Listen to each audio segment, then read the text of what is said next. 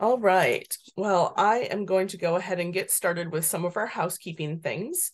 Um, and uh, so welcome to our October 2023 Kansas Local Food Systems Virtual Town Hall. Um, I'm Rebecca McMahon, the Local Food System Program Administrator for K-State Research and Extension. And on behalf of our entire local food team, I'd like to thank you all for taking time out of your busy schedules to join us for the Town Hall today.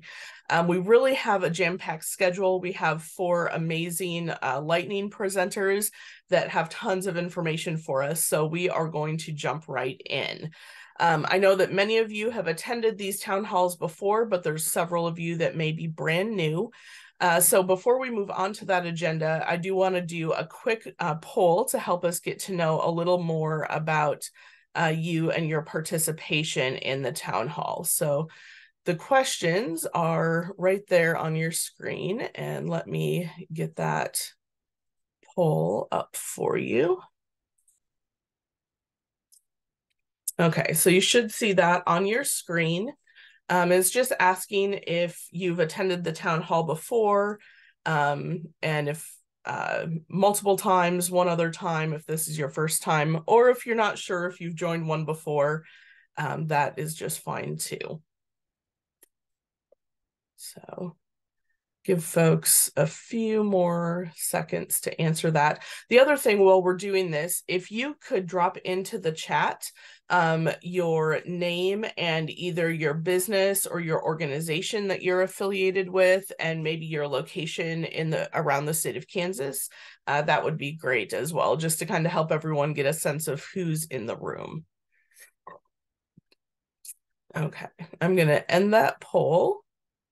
And just so you all can kind of see, we've got a good number that have attended before, and several of you, this is your very first town hall. So, again, welcome. We're really excited to have so many of you uh, joining us today. So, our agenda for today um, we're starting out with our lightning presentations. We have four presenters, um, and our theme for today is really kind of focused on uh, food security topics and different ways, uh, different things to think about, different uh, ways to work with food security challenges. Um, and so we have Dr. Powers from Auburn University, uh, Jeremy Goering from the Kansas Department of Health and Environment, Sabrina do Rosario from Kansas Wesleyan, and Adelaide Easter from Kansas State University, all going to share with us different things that they are working on related to food security. Um, we'll cover some grant project updates. We're going to do our crunch off. Um, so again, just that reminder that if you don't have a fruit or vegetable available, um, to see if you can scope one out um, while we're getting to that point. And then we always end up with time for everyone to share um, their own announcements or discussion or updates about what's going on. Um, so that is our plan for today. So with that, I am actually going to pass the microphone over to Dr. Powers um, for our first lightning presentation. And uh, Dr. Alicia Powers is the managing director for Auburn University's Hunger Solutions Institute. So welcome, Dr. Powers. I'll turn it over to you and just let me know when you're ready for me to move slides. Perfect. Uh, thank you all uh, for the opportunity to speak to you today. And I'm going to check my time to make sure I stick to my allotted five minutes. I'm always grateful for the opportunity to talk about Hunger Solutions Institute. And uh, I think I'm only the only outside Kansas person today. So um, I appreciate the opportunity even more so. Um, so you can go ahead and progress to the next slide. Um, so that you guys can see kind of the, the reason behind Hunger Solutions Institute. Um, we are housed in the College of Human Sciences at Auburn University. So sim similar to Kansas State, we are the land grant for the state of Alabama. And we are an academic center here on campus uh, and you can see our mission statement is we seek to leverage kind of the collective efforts of post-secondary education institutions across the globe um, to really support innovation around food and nutrition security. Um, you can advance to the next slide. So I'm going to talk just a little bit about the different projects that we have going on and how we uh, seek to impact both food and nutrition security in our work. So I mentioned we're an academic center on campus. And so, my goal as uh, the managing director is to try to make sure we have activities happening in all three cornerstone areas of uh, an academic institution, but even more so in an academic center to make sure there's integration across these three activities of teaching, research, and outreach.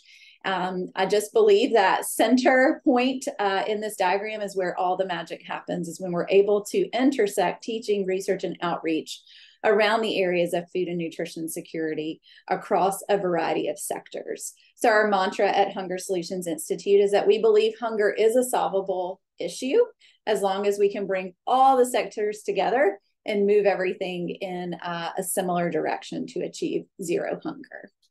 Uh, so I'm going to talk to you a little bit about what we have going on in each of these areas, and you'll hear me talk about how they, they intersect across the three areas. You can advance to the next slide. So at Auburn, I do serve as an instructor to both graduate and undergraduate classes. It's I can't wait to hear from Adelaide to hear about her work as a food security scholar uh, with Kansas State. Uh, we have an undergraduate minor here on Auburn's campus, and I teach those first two courses listed there uh, the intro course causes consequences and responses in the capstone course also support lots of independent courses and fellows and internships um, associated with hsi and even outside of hsi we do have a graduate certificate. It's currently inactive. Um, I'm hoping to dedicate some time to reinvigorating that. Um, but we offer lots of graduate research and teaching assistantships, internships, I do teach a few graduate classes and I'm always supportive of dissertations and theses. And so you can see here with the fellowships and internships and class opportunities that I'm integrating the research along with uh, the teaching as well. Okay, next slide. Uh, as far as the research, we have um, kind of four areas that we focus most of our work around uh, with Hunger Solutions Institute. The first one is hunger and food access. And I know you guys are familiar with Double Up Food Bucks in Kansas. We also have it in Alabama, and HSI serves as the lead for that. Uh, we also serve as the lead nationally for a healthy fluid milk incentive project. So, really helping SNAP households expand and extend their SNAP budget. We also support uh, hunger and higher ed working with 29 colleges and universities across Alabama and starting to extend beyond, and really understanding the situation of college student hunger uh, on their campus, uh, both from a student perspective and an institutional perspective. We're starting to dive deeply into hunger and food systems, which is where my background lie. Um, so looking at supply chain, rural supports, and food retail, we're actually partnering with Kansas State to host the National Rural Grocer Summit here in Montgomery uh, this year. It's the first time it'll be outside the state of Kansas. So we welcome all of you to join us in Montgomery uh, in June of 2024. And we're also launching our Food as Medicine work uh, to support hunger and health in partnership with our children's uh, hospital throughout the state and with our medical teaching hospital in at University of Alabama, Birmingham. Okay, next slide. Um, in addition to our teaching and research, we have quite a bit of service and outreach that we do. As you can see here, our Double Up Food Bucks Alabama and our Healthy Fluid Milk Incentive are not only research projects, they also extend into the communities as SNAP incentive projects. Similar to you all convening here today, we also as HSI host the End Child Hunger in Alabama network. Um, and it's similar to, to what you guys are doing here today. We meet quarterly in person in order to get everyone around the table and, and pushing forward in the same direction around ending child hunger in the state of Alabama. One more slide. There we go.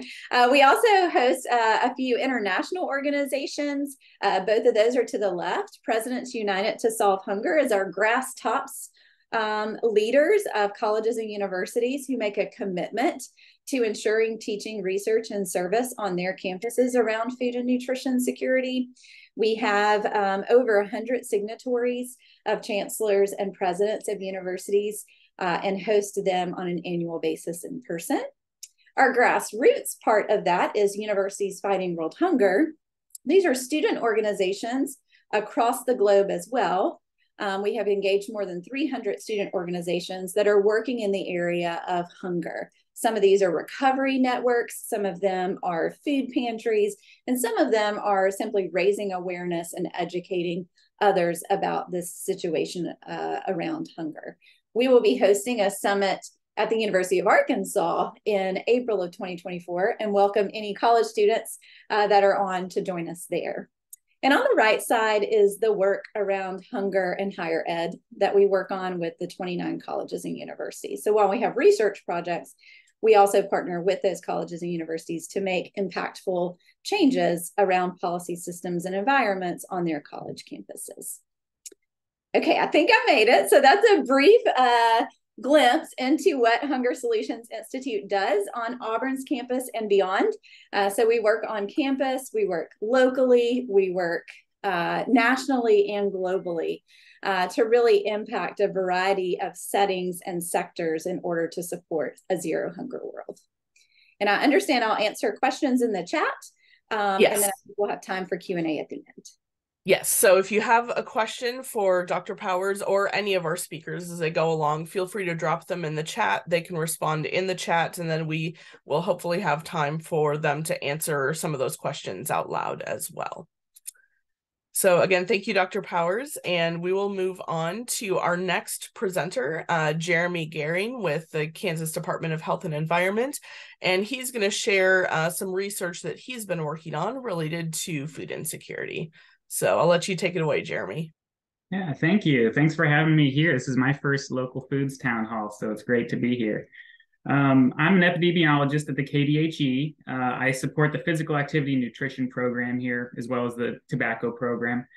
Um, today, I'm just going to share a bit of data from a, a, little project I, I performed last year that was looking at uh, relationships between food insecurity and dietary behaviors among Kansas adults, namely fruit and vegetable consumption. So you can go ahead and go to the next slide. Uh, and I think click three times here. I, yeah, they were perfect. Um, so I'm going to spend most of the time going over just the results of the study. Uh, I do want to hit these three background points, though. Um, the first is we're probably all aware food security. It's a problem nationwide, and Kansas is no exception. Uh, according to 2020 estimates, there's over 280,000 food insecure individuals in our state. So um, also, uh, we know that we are not eating enough fruits and vegetables as a nation. The USDA estimates only one in 10 American adults are actually achieving the recommended levels of fruit and vegetable consumption. And third, uh, and importantly for this study, food insecurity has previously been shown to be associated with decreased fruit and vegetable consumption. You can go ahead and go to the next slide. Thank you. Um, so this project, the study kind of asks two main questions. First is what are the socio-demographic factors that are associated with food insecurity? And also, is there an association between food insecurity and consumption of fruits and vegetables in Kansas, among Kansas adults? Go to the next slide. Um, so to answer these questions, we combine zip code level data from the 2021 Food Insecurity Index, and it assigns each zip code in Kansas into one of five uh, food insecurity categories. So category one is the lowest need. Category five would be the highest need, so the most food insecure. Um, and then we also got zip code level data on dietary behaviors from the 2021 Kansas Behavioral Risk Factor Surveillance System, or BRFSS, as it's lo- lovingly known. Um, so this is a survey, annual survey of Kansas adults. Um, so it's self-reported data, which is one of the big limitations of the study. But um, these are the two main data sources that we combined. So you can go to the next slide. So I won't go over all the results, just a few highlights. This first one here is just a, a chart showing the distribution of food insecurity by race and ethnicity in Kansas. Uh, it's probably a little hard to understand without studying it for a few minutes, but the main takeaway here is that we found a higher proportion of non-Hispanic Black and Hispanic Kansans living in food insecure zip codes compared with non-Hispanic White, Asian, and other races. So it's basically showing that the burden of food insecurity is not evenly distributed across um, all populations, all races and ethnicities in our state. So you can go to the next slide. So this is a table showing uh, some changes in fruit and vegetable consumption across the different food insecurity categories. Uh, again, probably a lot to take in, but essentially what we're measuring here is the odds um, that uh, individuals are under consuming fruits and vegetables, meaning less than one time per day, because that's frequency of consumption is how BRFSS records um, these uh, data. So we're just looking at frequency, not necessarily overall amount eaten at a time. Um, but after controlling for the baseline characteristics of race, ethnicity, and age, uh, the odds ratio of under consuming fruits and vegetables increased among individuals living in uh, highly food insecure zip codes compared to those living in more food secure zip codes. So, um, among our study population, we do see this association between food insecurity and decreased fruit and vegetable consumption. You can go to the next slide. So, uh, additionally, the most striking results we found were when we looked at two important subsets of fruit and vegetable consumption. And these are the ones that showed us the strongest association between uh, food insecurity category and level of consumption. Um, these two subsets are one, green leafy vegetables, which we would consider to be particularly nutritious. And then the second is fried potatoes, which we would consider to be less uh, nutritious, at least relative to um, other fruits and vegetables. So uh, again, controlling for race, ethnicity, and age, we found that for these uh, uh, green leafy vegetables, we see a very significant decrease in consumption as food insecurity increases. Um, and this was even stronger than for the overall fruit and vegetable consumption that we showed in the last slide. And then for uh, particularly unhealthy, I guess, fried potatoes, um, we see the exact opposite relationship, meaning there's a very significant increase in consumption as food insecurity increases. So, um, kind of as a whole, here, we're basically seeing that um, there are differences in dietary behaviors and in, in, levels of fruit and vegetable consumption. Um, there are differences between food insecure and food secure zip codes. Um, probably not particularly surprising to everyone here, um, but it is important, we think, to uh, highlight um, the importance of food insecurity uh, when it comes to these dietary behaviors, because they really do have important implications for health outcomes. Um, you can go and go to the next slide.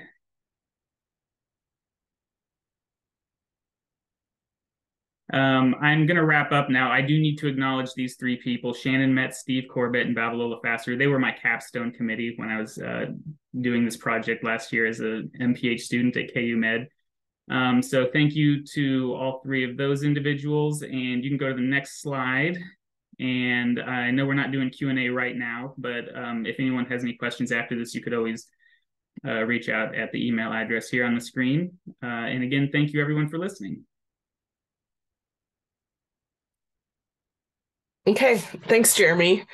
Like you said, it's great sometimes, even though it's hard to see the data, it's great to actually see the data instead of, you know, just making assumptions about what we think we know. Right. So. Yeah. Uh-huh. Okay.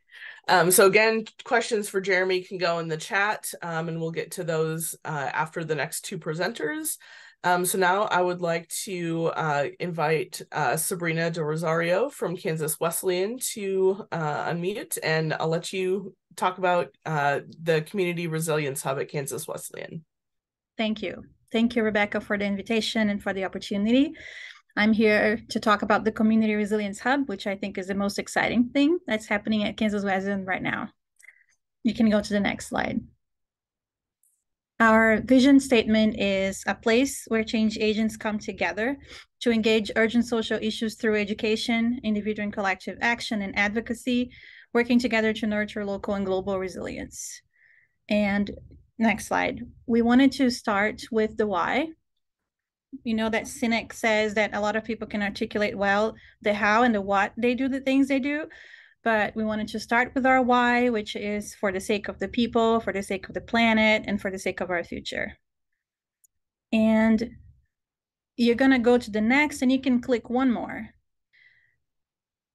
so that I can stay within the the time. Um, our how is this, which is our framework. We want resilience to be at the center, and this is our framework. We focus in three areas education, action, and advocacy for people, mind, community, and planet. We believe that what we do locally will reverberate globally, and we want this to be a replicable model for anyone that is looking for community resilience. And this is our how.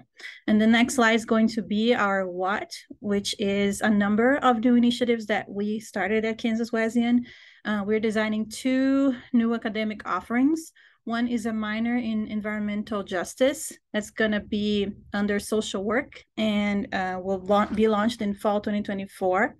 And the second one, we're working in partnership with the Rodale Institute, and it is a farmers training program uh, in regenerative organic agriculture.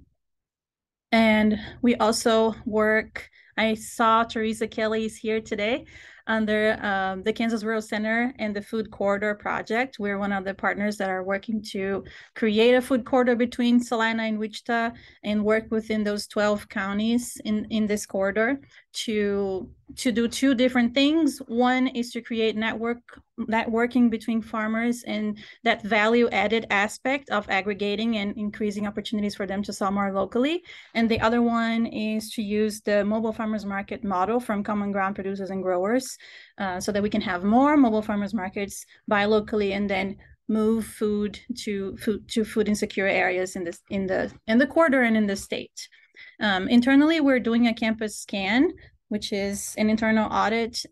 Um, we're asking uncomfortable questions. My students are asking uncomfortable questions like, what kind of paper are we buying? And why are we still spraying the dandelions? And why, what do we do with our food waste? Um, so that we can walk the walk and become a more sustainable campus. And then in advocacy, we started with civil discourse training, which means conversation to enhance understanding. We had a civil discourse training in August 2022 and in October 2022, and another in August of this year for students, faculty, staff, and community, uh, where we got together to um, essentially fight polarization, relearn how to talk to each other, understanding that we need all voices at the table if we want to affect change um, in all these areas of regenerative agriculture and, and food security. We can go to the next slide. This is our vision map, which is um, sort of an action plan and explains a little bit of our history. We did a lot of learning journeys in farms like the Polyface farms in Virginia and the Rodale headquarters and a couple farms in California. I had the opportunity to visit a farm in El Salvador where all their students spend 50 hours at the farm and then bring back that knowledge to, to any area of expertise that they have. Um, in the action area, I didn't mention regenerative agriculture farm. We have a very urban campus, but we partnered with Quail Creek Family Farms which is a farm that started last year, uh, regenerative organic by the Rodale standards, and is the place where our students are going to work on these those two new academic offerings. Um, our campus scan that I mentioned will eventually inform a campus sustainability plan or a climate action plan. And we know that in advocacy, we have to work at local, state, and federal levels to, to affect some change. And we decided to start with civil discourse training can go to the next one. So resilience is our strategy and is at the center. And what we want to increase in our community is local capacity, community cohesion, and resources. And what we want to decrease are risks, conflict, consumption, and trauma. Then you can go to the next one. We want to be references in convening. That's why we have HUB in our name. These are our principles, our foundation. We value each other, one and all. We want to seek common ground, engage and overcome challenges together. And we want to consume less and live more abundant, abundantly as a community because we share. Um, we also want to be a hope-filled response to the challenges of our time and bring the right voices to the table, respecting diversity and building community, with hard work and cooperation. And we are, I think we're the rookies. We, we are new to the agricultural game. Um, and we want to say that, be upfront about that. And we really like the Arauqua cultural principle. We think it fits very well that says that there are no experts. When we come together, we say that we put our minds on the table. So if you have knowledge that I can borrow, then I can use it. And if I have knowledge that you can borrow, then you can use it and we always have something to learn. I think I stayed within five minutes. Thank you very much. We're we're doing really well. I'm I'm very pleased. So thanks, Sabrina. Again, any questions for Sabrina, feel free to put those into the chat. um, and we'll circle back uh, with Q&A here in a few more minutes. So our last lightning presentation um, is from Adelaide Easter, and she is uh, working with the food security scholars. I believe you are one of the food security scholars. Is that correct? And yes. Uh, PR and things like that. So I'll let you tell more about you and um, your program. Yeah, so my name is Adelaide Easter. I'm currently a junior studying agricultural economics and global food systems leadership here at K State. Um, I'm one of the officers um, of Food Security Scholars. I'm currently the director of stakeholder and public relations. Um, so if you want to move to the next slide. So here's our mission. Our mission is empowering scholars by fostering curiosity and community to make progress towards a food secure world. Uh, next slide. So on K-State campus, 40% of K-State students are food insecure. Um, this means that having a group that can come together to work towards ending the food and po- food insecurity and poverty cycle um, is really necessary um, and is really good at exposing, um, I guess, making students aware um, of this rate on campus. Next slide. So here's a little bit about our history. So this was first created in 2020. Um, the first cohort was in 2021. Um, this was a um, idea in our Global Food Systems Leadership capstone course. Um, and the picture that you see there were the original founders of this organization. Um, so now we are on our fourth cohort. Um, last year, when I was a sophomore, I was part of the third cohort and I was a scholar there. And now I have an opportunity to be an officer. Next slide. So here's a structure of our um, advisory team. So our officer team is called SALTS, um, Student Advisory Leadership Team. So through this, we have um, different officers that hold different roles. So we have our director of curriculum, which plans all of our meetings and what we talk about. Director of stakeholders and public relations, which is me. Um, so I work with people like you, come and present um, about food security scholars and what we do, um, as well as um, facilitate uh, what we have on our social media. We have our director of engagement, which works to put together events and um, socials for the scholars during the year. And then we have director of membership and alumni. Um, they work to connect um, the scholars to our previous cohort alumni. And then we have a new position this year called director of research and development. Um, so, as scholars, we want to be able to give our students an opportunity to participate in some sort of research if they'd like. And then, lastly, we have advisors. Can you go to the next slide? So here's a little bit about our demographics. Um, so this year we have our most diverse cohort of scholars. Um, so we've opened it up to both undergraduate and graduate students. Um, so you can see we have 10 undergraduate and five graduate, um, four international graduate students, um, and we have six men and nine women. And you can also see um, that there are a lot of majors represented, not just in the College of Ag. Um, we have things like medical microbiology, social work, public health, and political science. So there's a wide range of um, majors represented here. Next slide. So I'm going to briefly talk about our first phase, which is the first semester, um, and talk about what we've done and what we are going to do the rest of the semester. So, first, we have our introduction and we talk about their why. So, we have scholars come up with their reason or their purpose for applying for food security scholars and what they hope um, they're going to get out of this. Then we do a grocery store simulation, um, basically giving um, scholars a scenario of um, saying you have $7 a day to plan um, three meals uh, and they have to try and budget something that's hopefully healthy and nutritious. Um, this really exposes them to what it's like to be trying to shop in a grocery um, store when you don't have enough money. Um, then we just had our local stakeholder field trip. Um, we visited Cat's Cupboard Food Pantry. Um, we also went to the dairy cattle um, Dairy Teaching and Research Center, as well as getting a tour of the Kramer Dining Facility, getting to see different local stakeholders. Um, and then we also, just this last week, had our Global Food Insecurity Lecture. Um, we had uh, a stakeholder that we've been connected with named Masharia um, from Kenya present about global food insecurity and what um, the food system looks like in Kenya specifically. Um, and then we also are having our fellowship meal. Um, this allows us to talk about how food and culture are tied together and talk about our relationships to food. Um, we have some scholars attending the World Food Prize here next week. Um, and so, for the ones that aren't, we're going to be doing a viewing for that. Um, we also have our international stakeholder reception.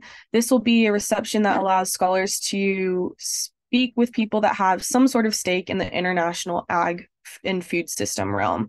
Um, then we have our advocacy event, and that is basically teaching scholars about how are you going to like advocate for like making change um, and then lastly, our capstone. And then if you want to go to the next slide. Um, phase two, um, this is kind of different. We're kind of rolling out um, some different changes.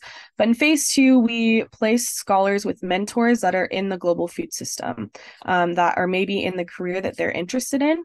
We also give them placements with different service organizations so they can have some applied learning. Um, so previous examples have been working with Cat's Cupboard Food Pantry, Food and Farm Council, or even some farms. Um, and we are also doing a research component this year. So if you want to go to the next slide. So some takeaways. Um, we are really looking for um, mentors um, and placements that we can partner with. So I know that there are a wide range of people here on this presentation today that are working in the, in the food system. Um, so if you have any interest at all in partnering with us, um, whether it's being a mentor for one of our students or um, helping us facilitate a placement for them, we would love that. Um, also, if you have any research ideas that you would like um, us scholars to look into, that would be a great um, takeaway for us. And then last slide. If you have any questions, um, feel free to contact our email or you can contact my personal email. Um, you can follow us on social media, and then the QR code will t- take you to the link to the website. So, all right. Thank you, Adelaide. Um, and if everyone could give a, a virtual round of applause to all of our lightning presenters, uh, they've done a great job covering a wide range of topics today. So I will open it up to any questions that you may have for our speakers. I haven't seen too many questions, lots of conversation in the chat, um, but not a whole lot of questions. So if anyone has any questions they'd like to ask, feel free to either put those in the chat or if you'd like to unmute and ask that live, um, we can do that as well.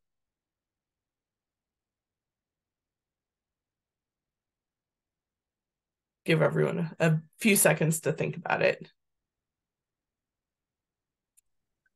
I'm seeing lots of thank yous in the chat and uh, comments on the informative presentations. So. Hi, um, I have a question. Um, and it's probably for our Kansas Wesleyan speaker, um, but maybe others. I'm really curious about kind of trauma informed framing of our food systems work. And I heard you mention trauma as something we're trying to avoid and I've been thinking about it in the context of our work with our councils and and food policy and planning work, like how we use a trauma informed lens. And so I was curious if anybody is actively working in that space around trauma and food, or if anybody has um, thoughts on that, or or if Kansas Wesleyan, you you said it as something you were trying to avoid, but I didn't know if there was like an active trauma informed focus. So sorry, that was a long question.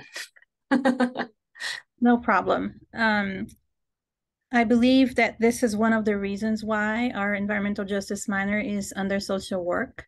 Um, the social work chair is um, a trauma therapist.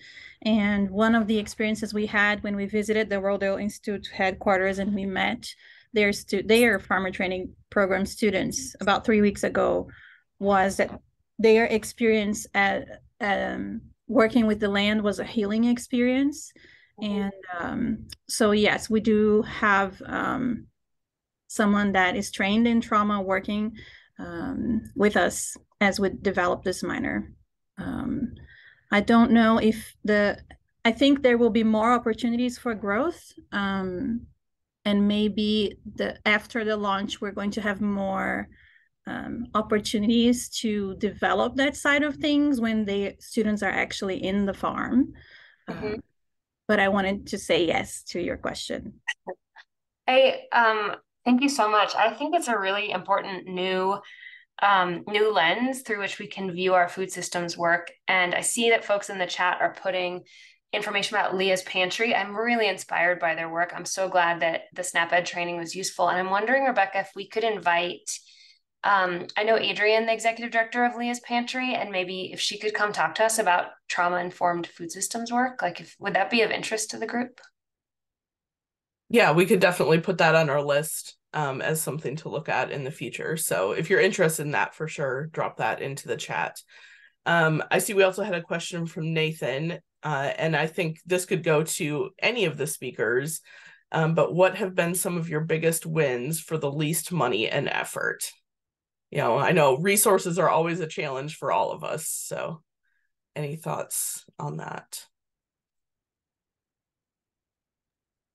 I'll chime in and say advocacy. It doesn't cost much to call an elected official or to write a letter or to gather a group and come to consensus. So that would be my vote. Anyone else have Sabrina or Adelaide or Jeremy have any thoughts on that? I think for me, it's it's seeing the reaction of our students when we present the CRH and the things that we're we're trying to do. I think we have a really positive response. Um, I was teaching this morning, and I teach environmental awareness, and it was the food and hunger chapter uh, and then I presented CRH and I had two students follow me, let's go to your office. I want to be part of this, you know, and I think um, the new generations are ready. So this for me is the easy win. They want this. And it's hopeful too. Um, I think for me, um, with our experience in food security scholars, is just like spreading awareness. Um, so many students on campus uh, previously had no clue that we had a food pantry. We just moved to a new location, which has really helped. Um, but a lot of students don't realize that maybe even they can be considered food insecure um, and maybe eligible for SNAP. And so, like through education events or even just getting out of the classroom, the scholars are being able to interact with other students and other community members. And I think that's really helping them become more interested in this realm.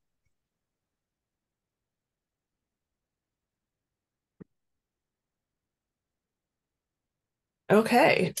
Well, thanks everyone uh, for your thoughts on that question. And thanks again to our speakers for great information um, uh, this morning.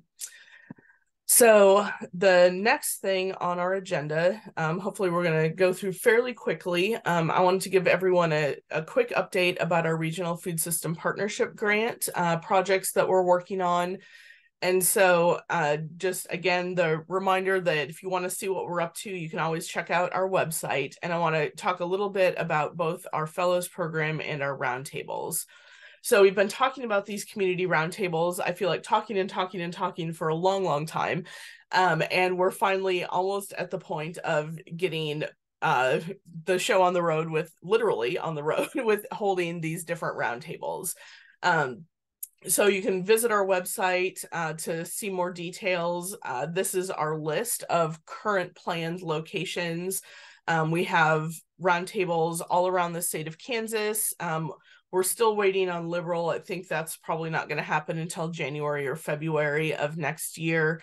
Um, and then uh, we've also got virtual sessions. If the in person sessions don't work for your schedule, um, we encourage you to join one of the virtual sessions.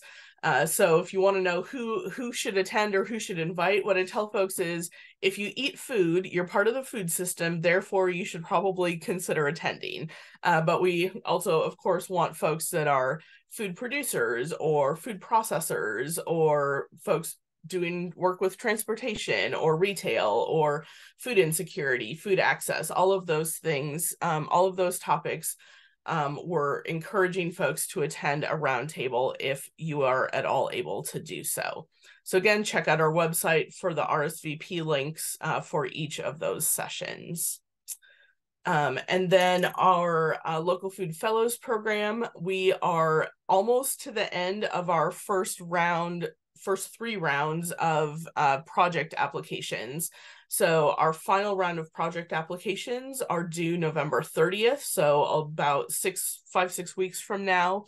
Um, some of the things to know that if you submitted in a previous round and were not selected, you are welcome to resubmit. Um, we've had uh, probably two to three times more applications than we've selected in each round so far. So it's pretty competitive. Um, but that's good because it allows everyone to really um, hone and focus and think about what they're going to do that is going to benefit the community. Um, so if you're going to submit an application, what we've seen so far is I would encourage you to really focus on what the community need is and who your partners are. We have our, our grant is a partnership grant, so we're focusing on uh, strengthening or increasing partnerships. Um, be sure to talk about how that fellow is going to increase capacity of the food system, including access to education, resources, or technical support um, and then really think about how the project can be evaluated and show impact. And also, we want to make sure it's it's actually accomplishable in 320 hours. Um, so keep that in mind. You know, and I think we're hoping like uh, that some of our food security fellows may find uh, uh, or food security scholars may find fellow opportunities um, in our applications as well. So we'll once we've kind of finished that last round of applications, we'll be moving into the phase of recruiting fellows to fill those positions. Um, so lots of exciting things happening with that program. Um, does anyone have any questions about either of those two projects? Okay, so if not, you can always reach out to myself or Amanda um, and we can help fill you in if you're not quite sure what we've got going on. Um, so the next thing we're going to take just hopefully a minute to do a crunch off. And I know some of you are familiar with this and others of you have probably never heard of this before. Um, and so our region, the Mountain Plains region of the Food and Nutrition Service, um, does this crunch off challenge every year. Um, and it's to help increase awareness of both eating fruits and vegetables as well as eating local fruits and vegetables. And so the different states in our region compete with each other. And um, we're my understanding is that we're all always chasing Nebraska. And so our goal is to try to do better um, if possible. Uh, so I'm going to actually uh, stop the share on my screen so that we can have our full um, full window open. And so if you have a fruit or vegetable, I'd invite you to turn your camera on. Um, and so what we're going to do is we are going to um, just all crunch together and do a screenshot um, at the same time. So everyone have your fruit or vegetable handy. Okay. So three, two, one, Everyone crunch.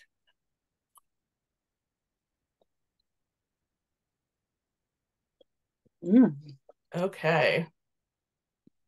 You don't get the same satisfying crunch on Zoom that you do when you're in person. Okay.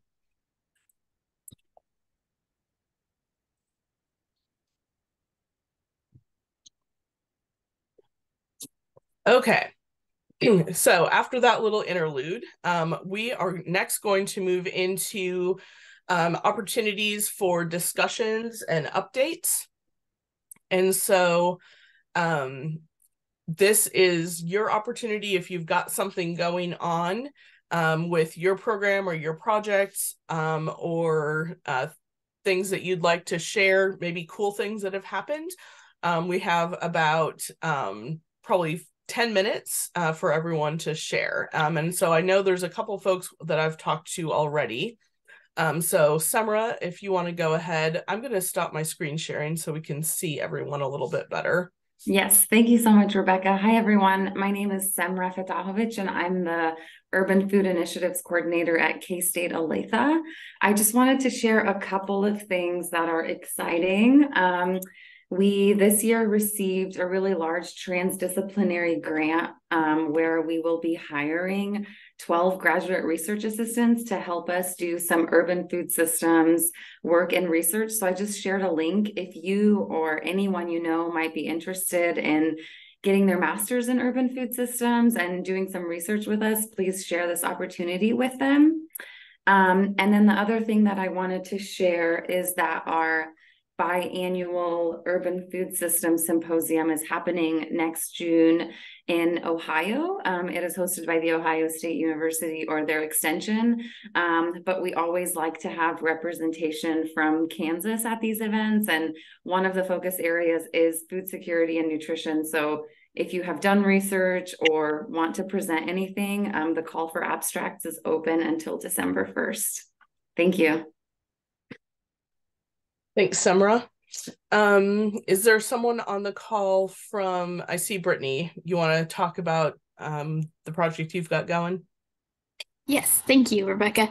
Um, the Kansas Department of Agriculture has opened up an application period for producers of local food to participate in the Local Food Purchase Assistance Program. The state of Kansas received funding from the USDA Agricultural Marketing Service for this program, and we subawarded the funds to our state's food banks to purchase local food from local producers to then distribute to those experiencing food insecurity across the state. So, if you know any producers who would like to sell their products to the food banks, it is a great wholesale marketing outlet in which they can move large quantities of product um, on a routine basis and get paid in a timely manner. Um, I would um, ask you to encourage them to apply, and I will put that link in the chat. Thank you. Thanks, Brittany. Um, let's see, is um, Martha or Haley from Kansas Appleseed available? I think you were wanting to chat. Thought I saw Martha join earlier, but I'm not seeing. Okay. Well, in their absence, um, or if you're able to jump on, um, they can they can put that in as well. Um, so Kansas Appleseed just released a new report about school meal debt in Kansas and how that has really skyrocketed since COVID, um, or since the end of universal school meals to or a school in a year and a half ago. Um, and so I don't have that link handy, but um, we can definitely send that out um, with our recap uh, email as well. So uh, thanks, Aaron, for finding that. Um, so I see several other folks have dropped um, updates into the the chat. If any of you want to unmute and share about those out loud, uh, feel free to do so. Rebecca, I would like to talk about the Wichita Sedgwick County Food and Farm Council. Go for it. Okay. Hi, everyone. My name is Teresa Veazey. I work in the city manager's office here for the city of Wichita. And one of my roles uh, new role here at the city, I've been here four months, is serving as a staff liaison to the Wichita Sedgwick County Food and Farm Council. Uh, we have launched, we are a fledgling council, uh, but we have launched. We are having our next meeting coming up in November, so I will put that information in the chat. And I do want to give a special shout out to Eileen Horn, who is on this call. New Venture Advisors is working with us, the staff liaisons. There are two from the city of Wichita, two from Sedgwick County to get the Food and Farm Council going. And we very much appreciate their very wise counsel and their help as we launch this organization. So I encourage all of you just to, uh, you can meet in person if you want to come to Wichita, or we do have a Zoom link um, just to come and see what uh, we're doing, this brand new group, and we're excited to get going. Wichita passed and Sedgwick County passed a food master plan in 2022, and this Food and Farm Council is now tasked with making those goals and objectives and tactics and metrics coming to fruition. So thanks, Rebecca, for the opportunity to to share. Yeah. And Eileen, I saw you unmuted. Yeah, I just wanted to, I put the link in the chat, but uh, remind everybody that the Kansas Food Action Network's annual convening is next week, uh, Tuesday and Wednesday. Um, if you work with a food policy council, if you're on a food po policy council, if you're just a fan of food policy councils, please come join. We have lots of great um, interactive sessions, and that's where we build our policy platform for the coming year. So um, all of all of your input is really important in that process. So um, please consider registering and joining. Thanks, Eileen. Um, Teresa, do you want to talk about the KRC conference or someone else from KRC? I can. It's November 10th and 11th, um, coming up soon, and we I put I dropped the link in. So we have um, some exciting speakers and events, and we're doing a raffle this year. Um, so I'll leave it at that. If Jackie wants to add something, that would be great.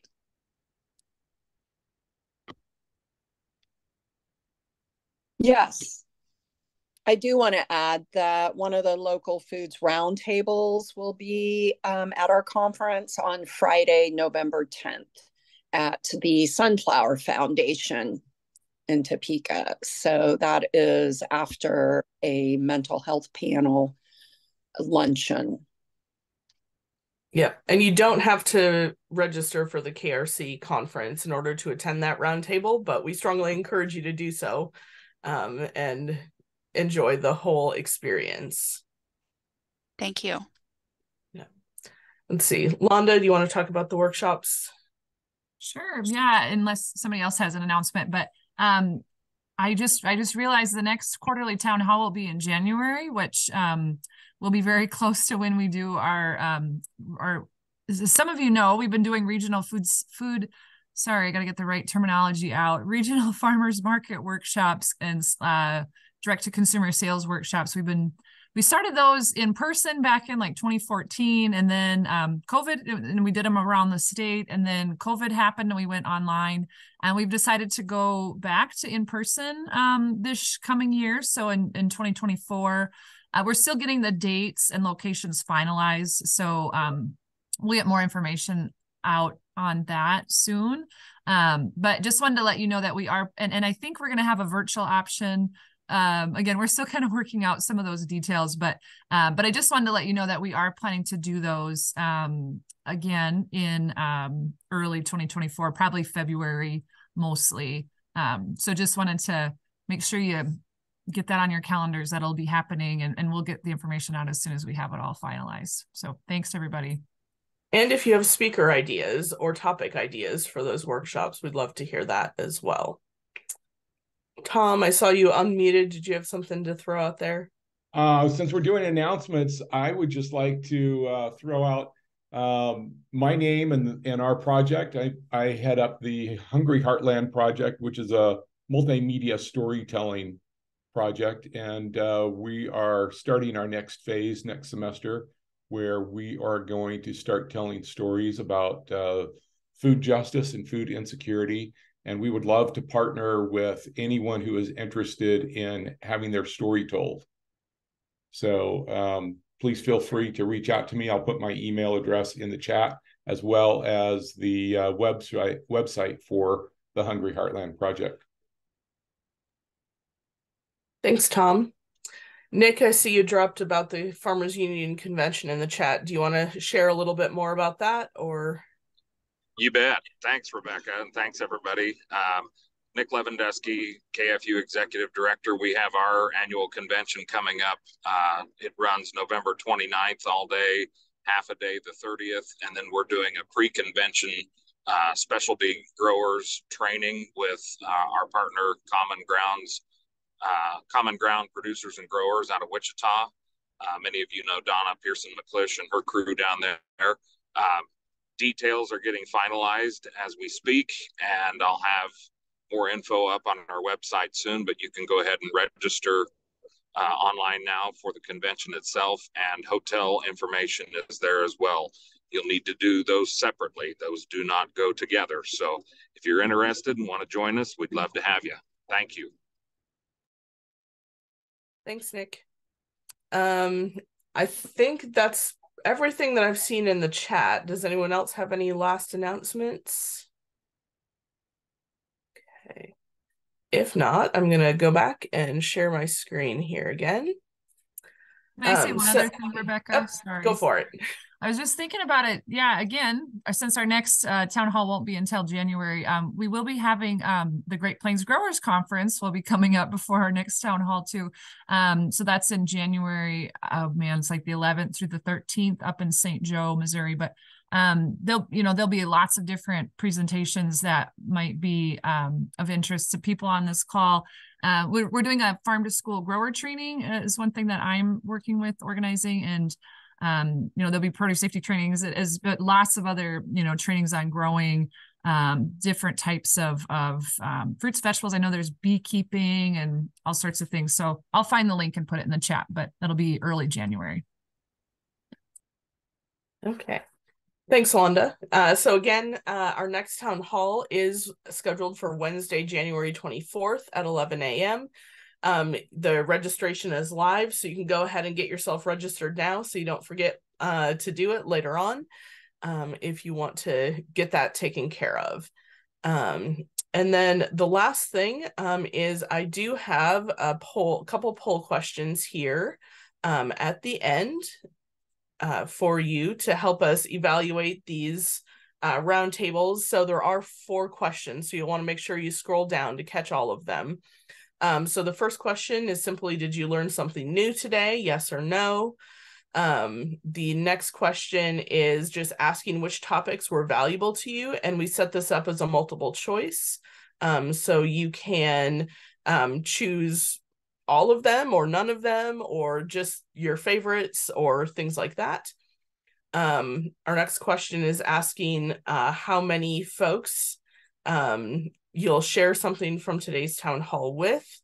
And then if you have suggestions for speakers or topics at the January town hall, um, obviously you don't the, the poll question is not super super useful. What's useful is if you put that in the chat so that we can capture those. Um, or again, if you've got um, ideas for uh, topics or speakers for the regional uh, direct to consumer workshops that we are in the process of planning as well. So give everyone a couple minutes to work through all of those questions.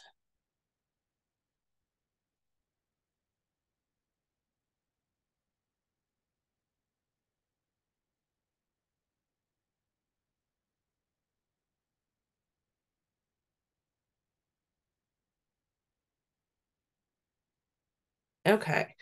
So if you're still working on the poll, that's great. Um, but again, just thank you to everyone for joining us today. We had a ton of great announcements. You can tell that the weather's getting colder and it's turning to conference season because everyone's got uh, a whole bunch of things going on. So uh, plenty of opportunities to learn more about uh, local food systems uh, throughout the state of Kansas if you're looking for an opportunity. Um, so again, thanks everyone for joining. I'll keep the poll open for a little bit longer here, um, but I think that's it for today.